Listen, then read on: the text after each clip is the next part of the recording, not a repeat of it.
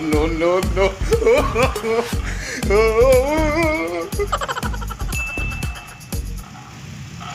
A few moments later.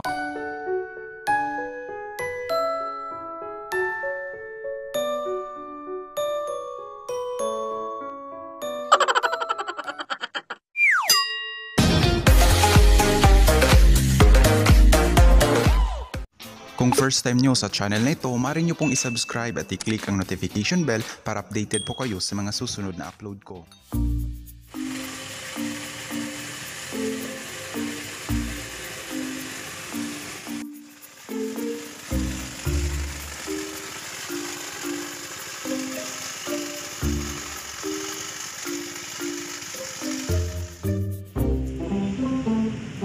Standard specifications for ready-mix concrete are specified in ASTM C94. Ready-mix concrete is concrete that is manufactured in a batch plant in accordance with a specified design mix. A few moments later. It is also called RMC that refers to concrete specifically batched or manufactured for customers' construction projects and supplied for the customer on site as a single product.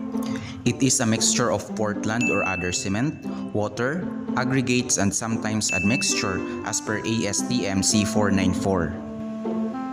Ang ready-mix concrete ay binibinta by volume at ang project na ito ay gumagamit kami ng 2,500 PSI, 3/4 size of aggregates at 28 days na nagkakahalagang 3,790 pesos per cubic meter or about $77 and prices varies depending on the location.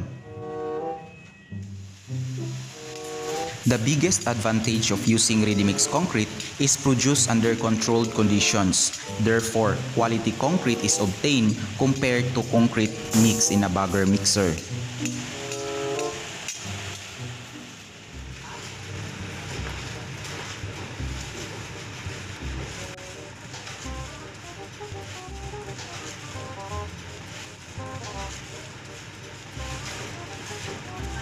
It also reduces labor cost and time required for construction.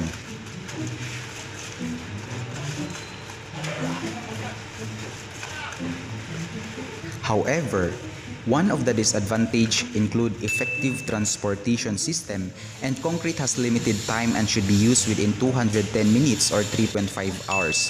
Therefore, consider the distance of the project from the batching plant and the volume of traffic, especially on peak hours.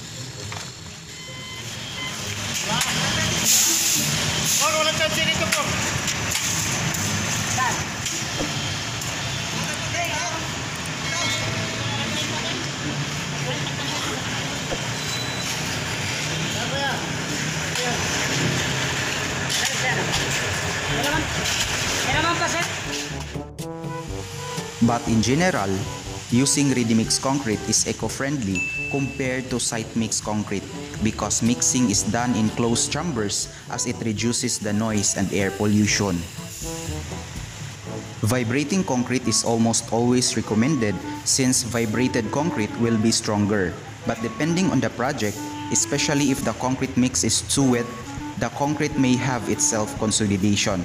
But it is necessary to use vibrators in concreting of beams, columns, floor slabs, and other structural member of the building of about 15 seconds each lift vertically at a distance of 60 centimeter.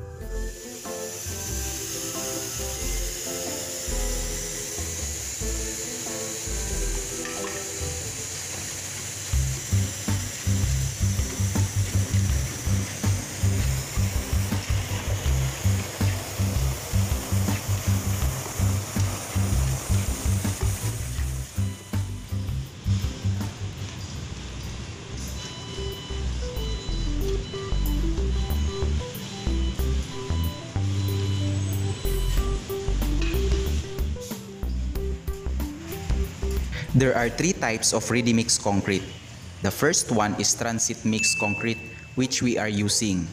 It is also known as track mix concrete, in which materials are batched at a central plant and thoroughly mixed in the track during transition. The second one is shrink mix concrete. It is used to increase the truck's load capacity where concrete is mixed at the plant to shrink the volume of the concrete. The balanced mixing of concrete is completed in the truck during transition time or at the construction site. And the third one is central mixed concrete or referred to as wet batch plant. The concrete is batched and completely mixed in a stationary mixer at the plant site before discharging it into the truck mixers.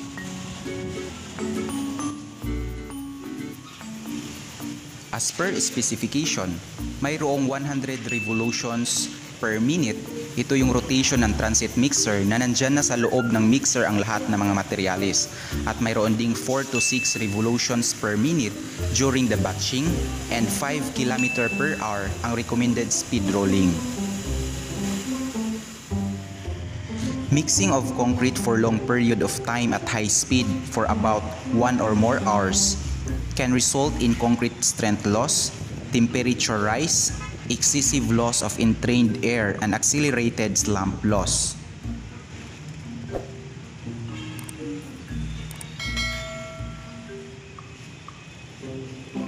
A few moments later.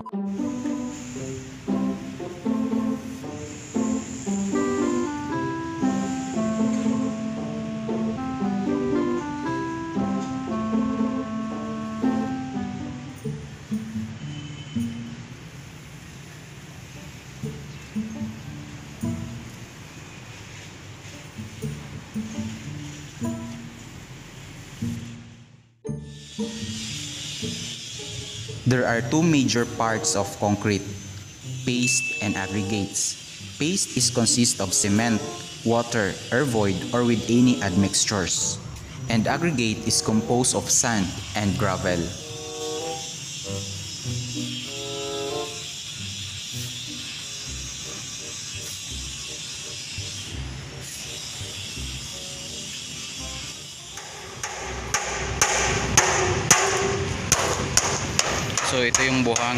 Gagamitin at saka yung graba. Tsaka yung tubig din, nandun na yung tubig. Naka-prepare na din yung tubig. So piniprepare na din natin yung bubuhusan. Dapat lagyan ng spacer para hindi siya didikit dun sa ano lupa.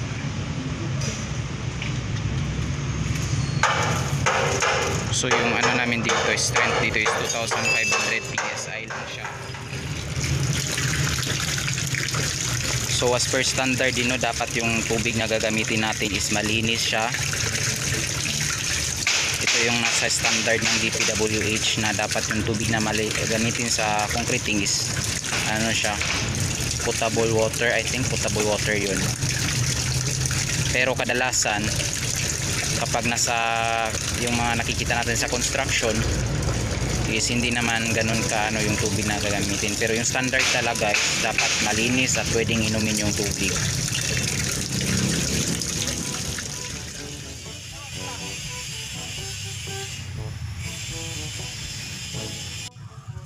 It is recommended to use one brand of cement in project, but the difference of using different brand of Portland cement is the color of the finished product only. It does not affect its strength requirements unless affected by concreting methodology.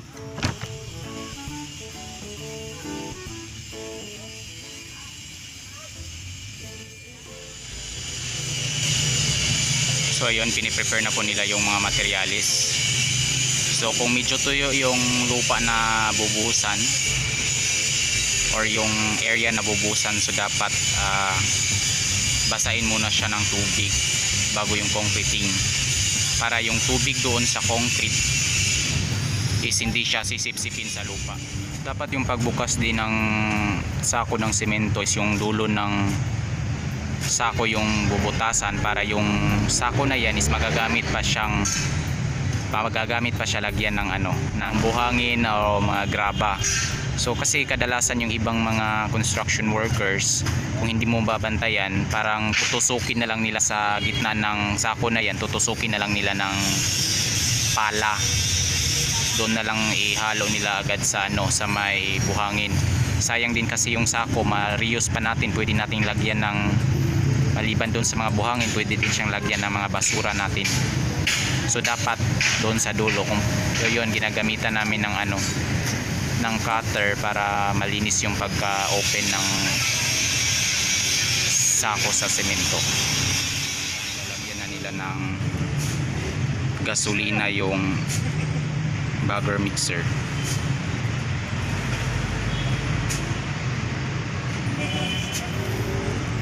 So dapat din nakabuta yung mga ano. so dapat naka Asan yung buta mo nakuha na yan? Bakit hindi mo binalik yan sa ano? So dapat din nakabuta sila para safety na lang din sa habang nagbubuhos para yung ano nila hindi malagyan ng mga concrete yung paa.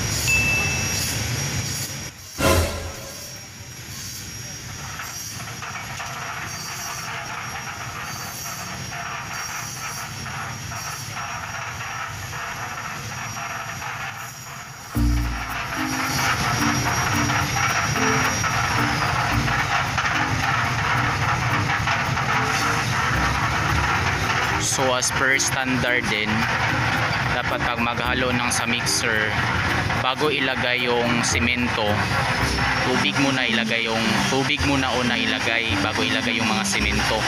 Around I think 10% ng ano na malagay na buhangin at saka tubig bago ilagay yung simento while nagmi-mix siya.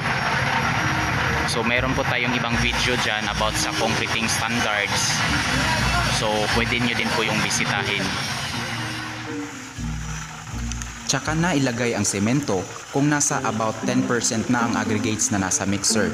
The water should enter the mixer first and continue to flow while the other ingredients is entering the mixer. Mixing time of concrete usually takes 1 minute per cubic meter plus 25 seconds for additional 1 cubic meter. And mixing time should not be less than 50 seconds but not more than 90 seconds.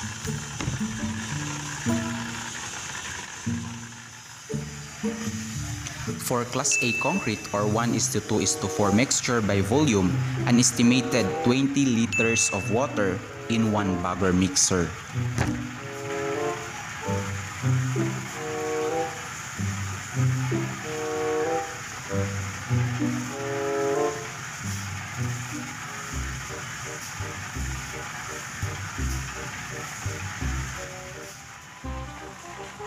Inirekomenda sa isang project na isang brand lang ng simento ang gagamitin.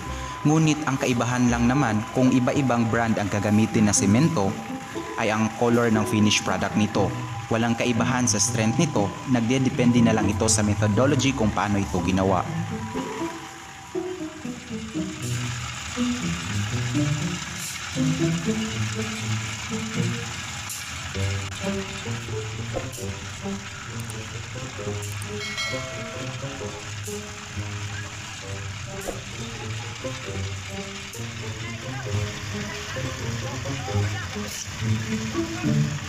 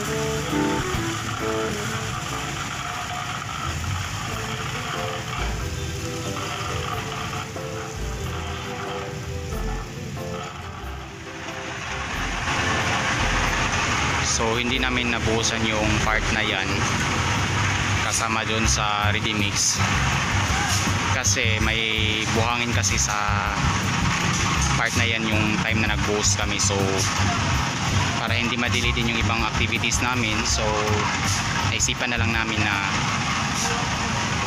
i ano na lang i manual concreting na lang yan